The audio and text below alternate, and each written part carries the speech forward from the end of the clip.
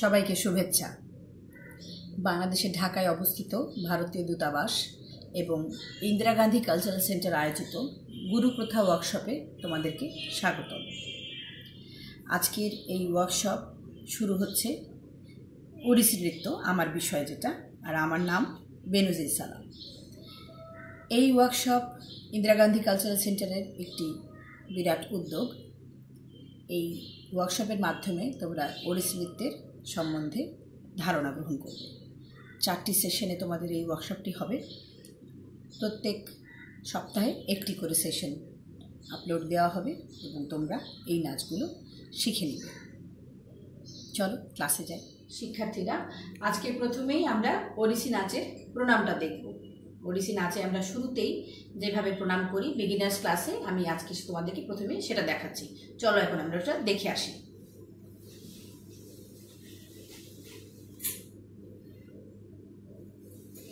Bye.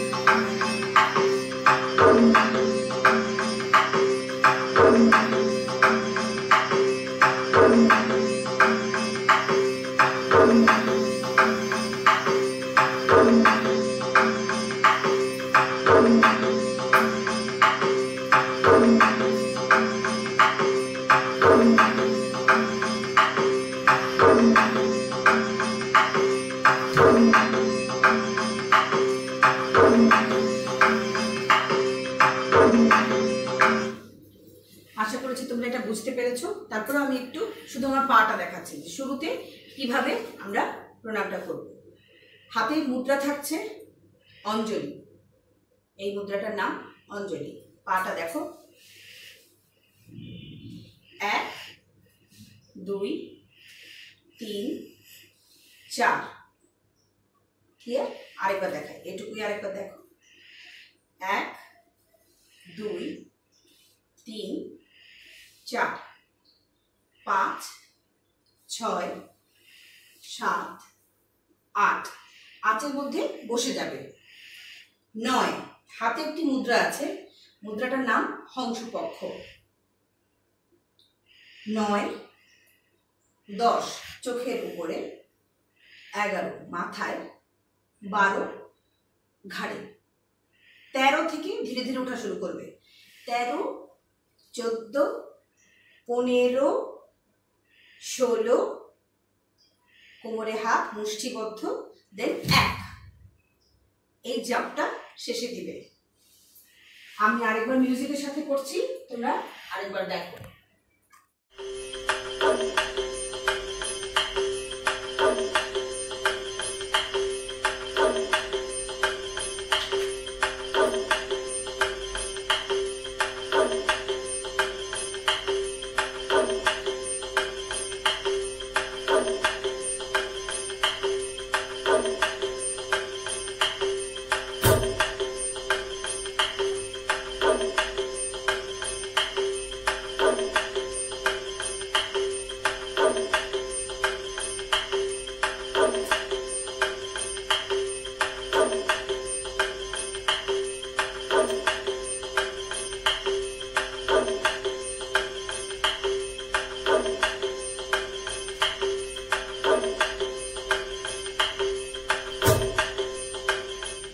আজকে আমার সাথে এই ক্লাসে আমাকে সাহায্য করছে আমার ছাত্রী আফিয়া ইবনা থালিম তোমরা এখন দেখলে ওড়িশি নাচের প্রণাম।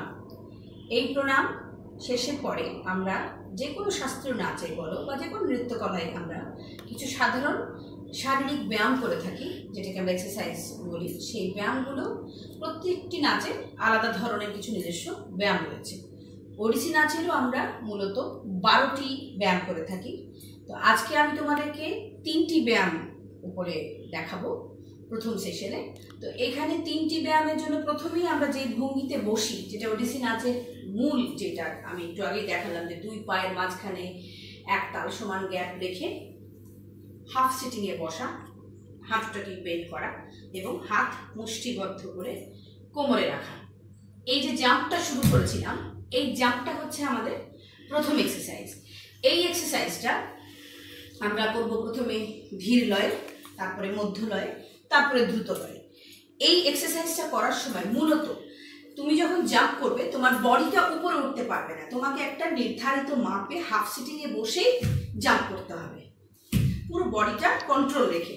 এখানে চাইলেই আমি এরকম করে বাউন্স করে করে এই জাম্পটা করা যাবে না। একদম কন্ট্রোল বডি ওয়ান টু এভাবে সিঙ্গেল ডাবল রেডাবল এভাবে এটা আমরা প্র্যাকটিস করব এখন দেখো কীভাবে এটা করব আমি One.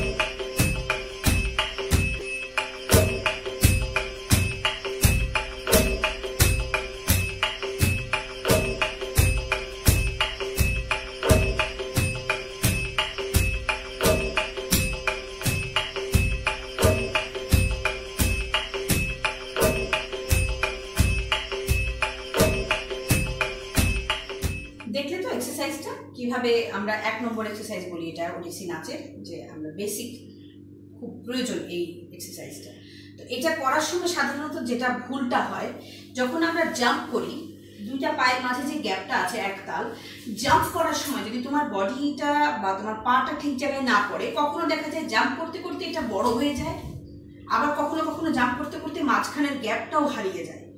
এই দুটো যেন না হয়, তোমার এই গ্যাপটা যেন কন্টিনিউ একটা জায়গাতেই এইভাবে ফিক্স থাকে। বেড়েও যাবে না, কমেও যাবে না। এই বিষয়টাতে মাথায় রাখতে হবে।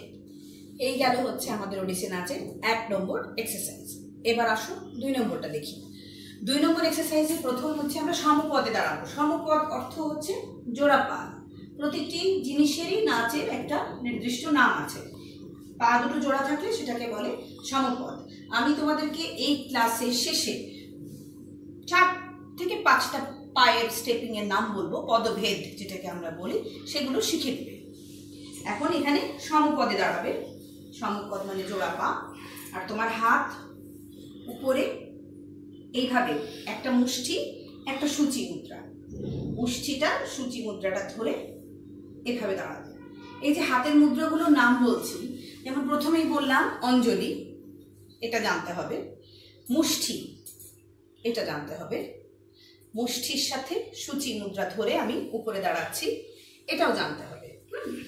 তো এই এক্সারসাইজটা দুই নম্বরে যেটা মূলত কাজ, আমাদের টর্সো যেটাকে আমরা মানে টর্সো বলি মুভমেন্ট ওডিসি নাচের মেইন যেটা সৌন্দর্য টর্সো বলতে তোমার হাতের বাদ দিয়ে কাঁধের অংশ থেকে কোমরের এইটুকু মানে বডি এই মাঝারি মিডল পোর্শনটাকে বলে টর্সো এই টর্সো মুভমেন্টটা ওডিসি নাচে খুব বেশি এইভাবে ব্যবহৃত হয়। হুম? এই টর্সো মুভমেন্টটা যখন ব্যবহার করা হয়, তখন কিন্তু বডি শুধু এই যে মাঝে যে টর্সোর অংশটা, মধ্যবর্তী যে আমাদের শরীরের অঙ্গটা, সেটা শুধু একবার ডান দিকে যায়, একবার বাঁ দিকে যায়। তো ডান দিকে যখন যায়, তখন বলে দক্ষ চল চাল শরীরের চাল দক্ষ চল বামে গেলে বাম চল আরেকটা আছে উচ্চল, উপরে ওঠে পৃষ্ঠ চল এটার একটা এক্সারসাইজ আছে। এই এক্সারসাইজটা তুমি আগে শিখবে। হাতটা মাথার উপরে নিয়ে দক্ষ চল ডান দিকে গেল বাম চল the sleep mode, release by pressing key of the end or the play and pass key. নিচে যাবে। খেয়াল করে দেখো আরেকবার। আমি পিছন দিক থেকে দেখাই। দক্ষ চল আমার ডান দিকে আমি যাচ্ছি। ডান দিকে বডি বাম চল। বাঁ দিকে বডি। উত চল, উপরে উঠছে, পৃষ্ঠ চল, বডিটা নিচে নামছে। কখনো এই এক্সারসাইজটা দক্ষ চল, পৃষ্ঠ চল, বাম চল উত চল, আবার দক্ষ চল, পৃষ্ঠ চল, বাম চল উত চল, আবার অপোজিট বাম চল, পৃষ্ঠ চল দক্ষ চল উত চল এই যে পুরো বডিটা টার্ন করে ঘুরে আসছে, আবার টার্ন করে ঘুরে আসছে। এটা হচ্ছে আমাদের দুই নম্বর এক্সারসাইজ এটা তোমাদেরকে আয়ত্ত করতে হবে। এই এক্সারসাইজটা করার সময় তোমার শুধু টর্স মুভমেন্ট হবে। কোনোভাবেই তোমার হিপ পোর্শন যেন বা শোল্ডার নড়ে না যায়, নড়ে না যায়। কন্টিনিউ যেটা তোমার এখানে তুমি প্রেস করে ডান বাম প্রথমে এই পার্ট ডান বাম তারপরে উচ্চল উপরে উঠছে, পৃষ্ঠ চল, নিচে যাচ্ছে দক্ষ চল বাম চল উত চল পৃষ্ঠ চল, প্রথম এই অংশ, তারপরের অংশ দক্ষ চল ডান দিকে পৃষ্ঠ চল, ভেতরে বাম उत्चल दक्ष चल पृष्ठ चल बाम चल उच्चल ऑपोजिट बाम चल पृष्ठ चल दक्ष चल उच्चल बाम चल পৃষ্ঠ চল দক্ষ চল উচ্চ এই এক্সারসাইজটা যখন করবে, হাতটা এইভাবে মাথার উপরে রেখে one two three four one two three four one two three four one two three four এভাবে করবে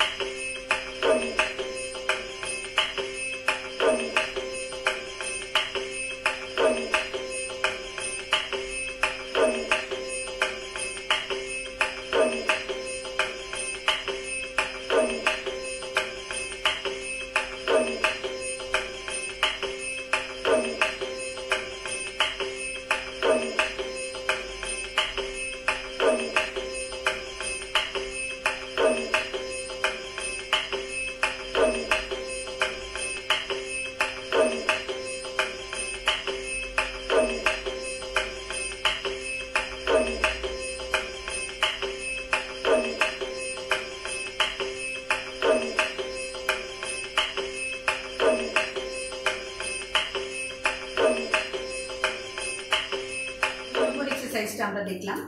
এখন আমরা দুই নম্বর এক্সারসাইজের বিষয়ে একটা জিনিস বলতে চাই। সেটা হচ্ছে যে আমি যেটা বললাম, দক্ষ চাল, বাম চাল। দক্ষিণ চাল, বাম চাল। উৎ চাল, পৃষ্ঠ চাল। বাংলা এটা। আর আমরা সংস্কৃতে বলি দক্ষ চলে, বাম চলে উচ্চালে পৃষ্ঠ চলে। এইভাবে আমরা উচ্চারণ করি। এখন তিন নম্বর এক্সারসাইজ যেটা আমরা করব, সেটাও অনেকটা এরকমই, কিন্তু প্রথম যে বসেছিলাম আমরা হাফ সিটিংয়ে একতাল ব্যবধানে দুইটা পা রেখে, ঠিক ওইভাবেই আমরা ফার্স্টে বসবো। বসার পরে দাঁড়ছে চলো ওয়ান টু শুধু এটাই হতে চাই, থাকবে। একবার ডান দিকে, একবার বাম দিকে। কিন্তু এটা ওঠার সময় সিঙ্গেল ডাবল বি ডাবল সেই লয়ে যাব আমরা। শুরু হচ্ছে এক, দুই, তিন, চার, পাঁচ, ছয়, সাত, আট। এক, দুই, তিন, চার, পাঁচ, ছয়, সাত, আট। আবার এক, দুই, তিন চার, পাঁচ, ছয়, সাত, আট, এক, দুই, তিন, চার, পাঁচ, ছয়, সাত, আট। একটা জিনিস তোমরা খেয়াল করেছ কিনা? হাত যখন উঠাচ্ছি, এক, দুই, তিন, এরপরে হাতটা উল্টিয়ে যাচ্ছে। চার। পাঁচ, ছয়, সাত, আট। আবার এক, দুই পতা খসতে তিন, চার, পাঁচ, ছয়, সাত, আট। খুব ভালো করে হাতটা দেখবে। গায়ের কাছে থাকবে না। সব সময় শরীর থেকে চার আঙ্গুল দূরে তোমার হাতের পোর্শন এটা হচ্ছে পতাখস্ত। এক দুই, তিন, চার, পাঁচ, ছয়, সাত, আট। এক, দুই, তিন, চার। টার্ন ছয়, সাত, আট। খেয়াল করবে, এই হাতটা যখন এরকম যেন না হয়ে যায়, এটা যখন এখানে যাবে এরপরে এটা ঘুরে যাবে।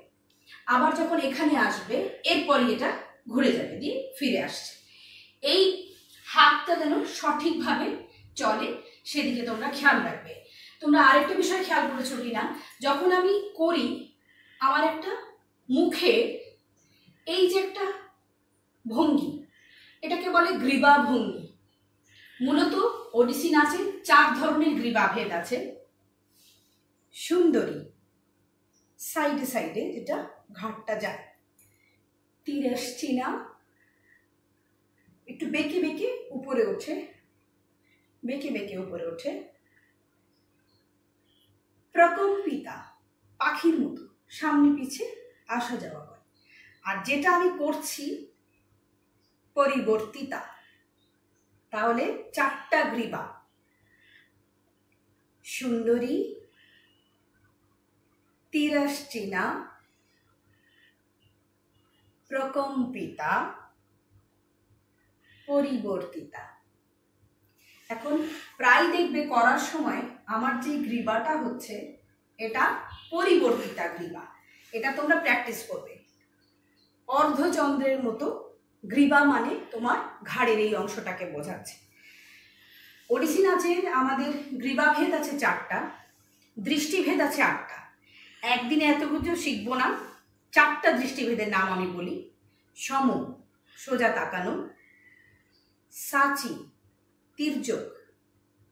সাচি, উল্লোকিত, অবলোকিত। প্রত্যেকটি নাম আছে। আমার যেমন নাম আছে, তোমার যেমন নাম আছে, তেমনি চোখের, হাতের, পায়ের প্রত্যেকটি আলাদা নাম আছে। ঠিক আছে? তাহলে চলো আমরা এটা আরেকবার দেখি।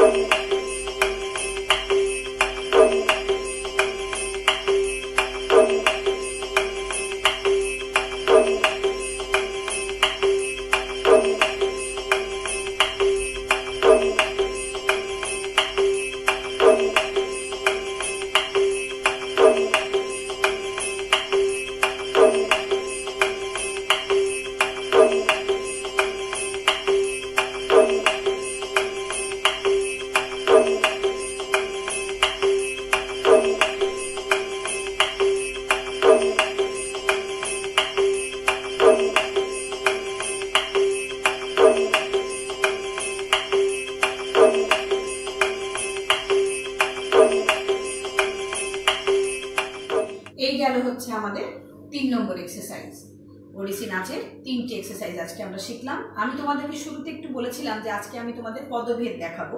তো চারটা পদভেদের নাম আমি বলি, এটা দেখো আগে। পা জোড়া রাখি, সেটাকে আমরা বলি সমপদ। যখন দুটো পা দুই দিকে মুখ হয়ে যায়, তখন বলি বিপরীতমুখী পদ। তাহলে প্রথম প্রণামেই আমরা দাঁড়িয়েছি সমপদ।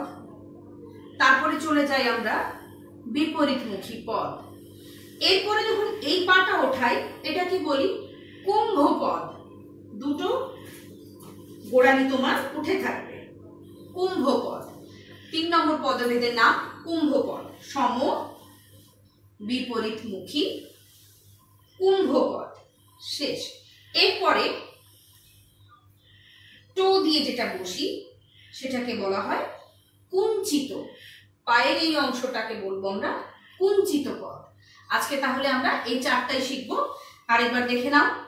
সমপদ, বিপরীতমুখী পদ কুম্ভ পদ এবং কুঞ্চিত পদ। এই চারটি পদভেদ তোমরা শিখে রাখবে। এই ক্লাসের মাঝে আমি অনেক পদভেদ, অনেক দৃষ্টিভেদ, তারপরে গ্রীবাভেদ, হস্তমুদ্রার নাম বলেছি, শরীরের চালের নাম বলেছি। এই সব বিষয়গুলোর দিকে খেয়াল রাখবে এবং যথাযথভাবে সাধনা করবে এবং সবাই ভালো থাকবে। প্রতিটি ক্লাস শুরুর আগে আমরা যে প্রণামটা করেছি, সেই প্রণামটা আমরা আবার ক্লাস শেষে করব। শুরুতে একবার করব, শেষে একবার করব। ঠিক আছে? তাহলে এখন আমরা প্রণাম সেরে ফেলি।